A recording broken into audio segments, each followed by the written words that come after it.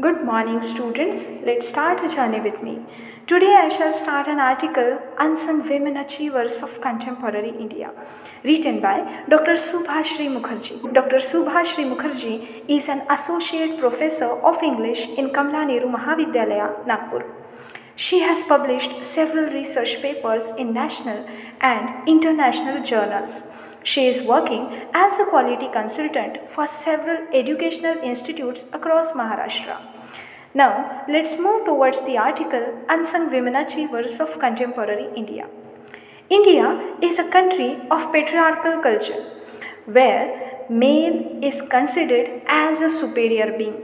So, man has been given the primary status in the world.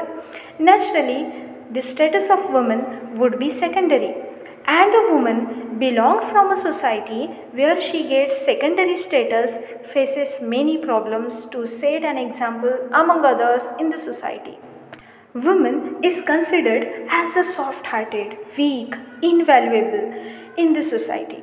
She has been given a less importance, but before being a woman, she is a human being and human being whether is a man or woman if has an internal fire decides oneself as a winner before jump in the race. Any human being first starts his or her journey from a dream. Dreams become passion and passions become hopes. A dreamer wants his dream should come true such are the strengths, passions, and strong desires in the form of women has been given in this lesson. They became the true winner in the unfavorable circumstances. They achieved their goals by breaking the norms of the society. When a being asks the true meaning of his birth, and finds out the special art in him or her, then only his or her soul starts work for the victory in life. Here are some brief passages given about such extraordinary personalities. Let's talk about the first woman and her name is Jyotsna Sitling. Jyotsna Sitling is the first female Indian Forest Service officer. She won the prestigious Indira Gandhi Paryavaran Puraskar. This is the highest environmental honor of the country. She is the lady of extreme greed and determination. She has spent her entire life working towards restoring our ecosystem. She provided the jobs to the local people. She cleaned up the hills. She tried her best to protect the environment.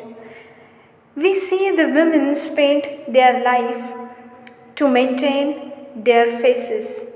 On the other hand, Jyotsna Sitling spent her entire life to protect the beauty of the environment. And if you would be thinking about her family background, so here is the answer. She belongs from a small village in West Bengal. The name of her village is Kalimpong. She is from a Lepcha tribal community. She was from those women who went on to change the fate of the Himalaya region. Here we find the human beings struggle to change their luck, but Jyotsna Sitling is from those who not only changed her destiny but also the destiny of Himalaya region. She was appointed as a director of Nanda Devi National Park in 2002. It is in Uttarakhand.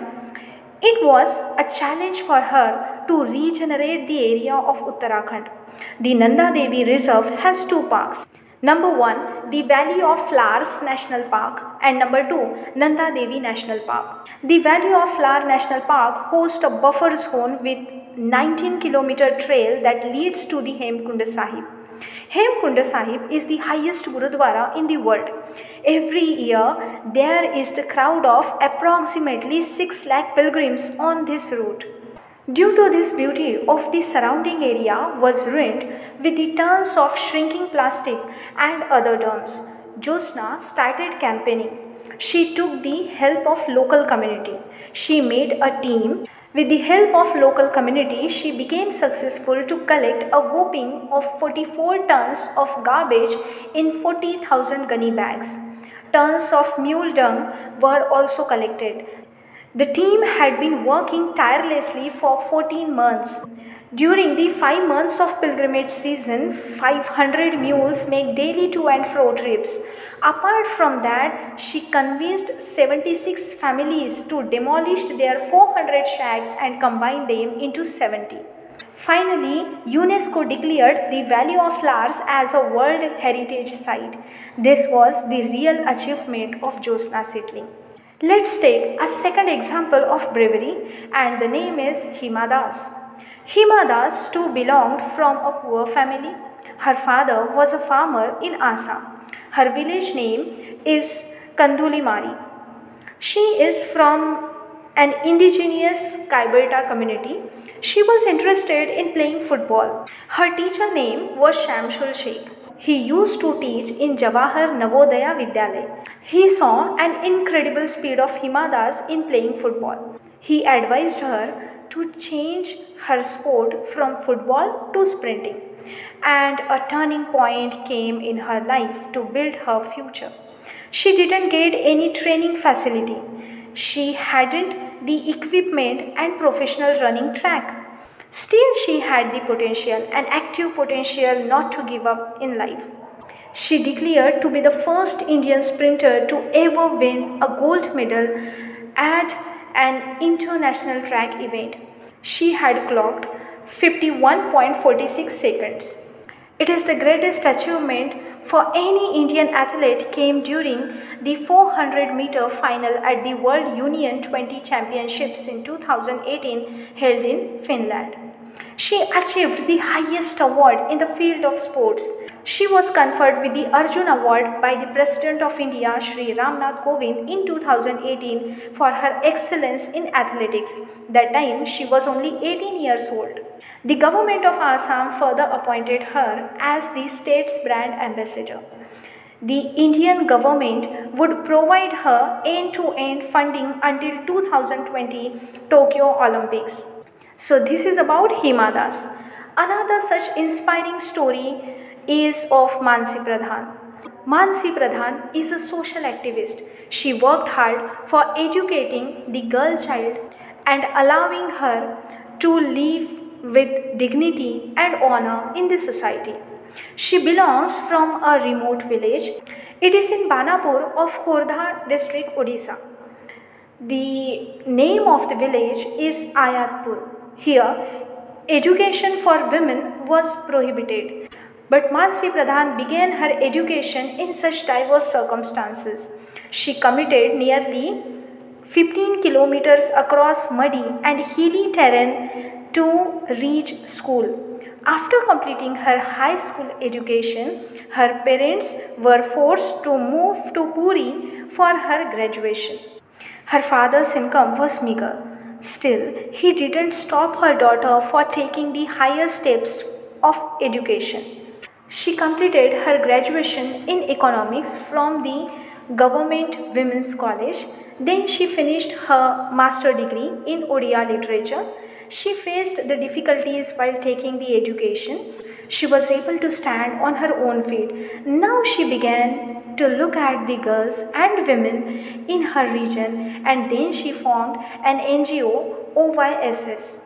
Its primary motive was to encourage and provide higher education to girls. Today, this NGO organizes leadership workshops, vocational trainings. It works for the awareness and women's rights issues, self-defense, etc. Honor for Women is a nationwide movement which was launched by Mansi Pradhan in 2009. Its aim was to fight for the right of women.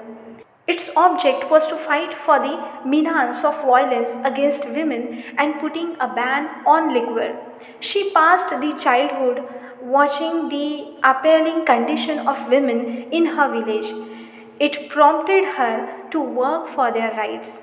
She put four major points related to women issues to the government of Odisha. And those four points are number one, to teach self defense to the women, to put a ban of liquor trade, to institute fast track count, and the fourth one is special protection, especially for vernacular women.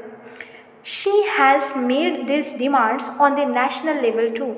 She is the founder of Honor for Women National Campaign. She was awarded the Rani Lakshmibai Stri Shakti Puraskar by the President Dr. Pranab Mukherjee in 2014. In 2016, a magazine, the New York based Bustle, named her among 20 most inspiring feminist authors and activists. The Los Angeles based Welker Media Incorporation named her among 12 most powerful feminist change makers. Think about a woman who once commuted nearly a distance of 15 kilometers across muddy and hilly area to reach school now was invited by the Oxford Union of the University of Oxford to address the union in 2018.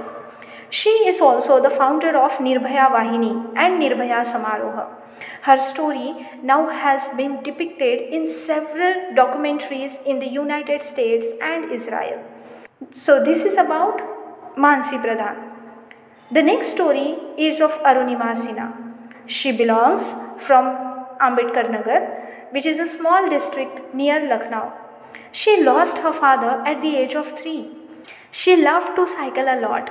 She played football and volleyball. She was a national level volleyball player. She wanted to join a paramilitary force. She got a call letter from CISF in 2011 but her date of birth was wrongly mentioned there. She decided to go to Delhi. She boarded in train and she was traveling in the general coach of Padmavat Express.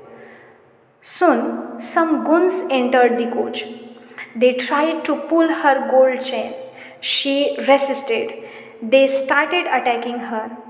All the other passengers in the train were merely watching all this, but no one came to help her. The goons picked up Arunima and threw her out of the train. She collided with an ongoing train and fell on a track. She didn't get any chance to move, and another train passed over her leg. What is the use of such society, such spectators, the man, the technology, if any of them can't help a woman? All were merely mute spectators. They were watching everything. She lay all night on the train track, bathed with blood. 49 trains passed the spot that night, but that time humanity was dead. Not a single human being was ready to help her. She spent the whole night with her wounded body in the arms of night. In the morning, some local boys came. They took her to the hospital. Her leg had to amputate. Indian Railway were ordered to pay her rupees 5 lakh as compensation. The sports ministry also offered her compensations. She was taken to All India Institute of Medical Sciences for treatment. Once she lay on the train track and now she is on hospital bed. First, she was not in her conscious, but now she was in her full of conscious on the hospital bed she decided to bounce back. She got the chance to ask herself what she wanted, and her soul said, The footprints of my leg on the highest mountain peak. She decided to climb the Mount Everest. The Mount Everest is the highest mountain peak in the world. Once the goal decided, no one can stop you. Because from that movement, you stop to live with your body and start to live with your soul, with your spirit to achieve something great. She started her training with her prosthetic line. She joined Nehru Institute of Mountaineering. She began with smaller peaks. She got some near death experiences there, but she didn't give up. Finally, she conquered the Everest on 21st May 2013. She then climbed Mount Kilimanjaro, Elbrus, Kosciuszko. By 2014, she became the first female amputee to climb the Mount Vinson in 2019. Mount Vinson is the highest peak in Antarctica. And finally, she was honored with PhD in 2018. Once a helpless Arunima on railway track and now become a source of inspiration for the whole world. She was awarded with the Tenzing Norgay highest mountaineering award, Arjun Award and Padma Shri. So this is the life-changing story of Arunima Sinha. Next and the last unsung woman is Beena Devi. She belonged from Bihar. She was married into a family of Dhauri village. It is in Bihar. She was living a life of a housewife in four walls like other common women. The turning point came in her life when Munger's Vigyan Kendra means Agriculture Science Center organized a training program to empower rural women. This was the chance for women to get involved in organic farming. It would make the households financially stronger and contribute to the well-being of the environment. She began the work from her own house. Her journey started in 2013. She got in touch with the Krishi Vigyan Kendra and its team. Here she was taught the technique of growing mushrooms. She started growing a kilo of mushroom under a cot. She popularized mushroom farming in 105 neighboring villages. She trained almost 10,000 rural women. It was a challenge for Beena Devi in the patriarchal culture. She still didn't give up. She had helped 2,500 farmers to create self-help group. She taught the farmers the system of rice intensification method of crop farming. She was also elected as a Sarpanch for Dhauri Panchayat for five years. She promoted organic and mushroom farming. She trained people in vermicompost production, organic insecticides and dairy farming. Today, she supports an entire family of 18 members. Her monthly income is rupees 90,000 from mushroom farming and rupees 60,000 from organic farming. On 8 March 2020, she was awarded Nari Shakti Puraskar by the President Sri Ramnath Kovind. Thus, these are the brave women who worked hard in the unfavorable circumstances. Therefore, it is wrong to decorate a woman in a four walls like a doll or caged her in four walls. Let them fly. Let them take the education so that their wings will be strengthened to fight for the right. This is about the article Unsung Women Achievers of Contemporary India by Dr. Subhashree Mukharjee. Thank you.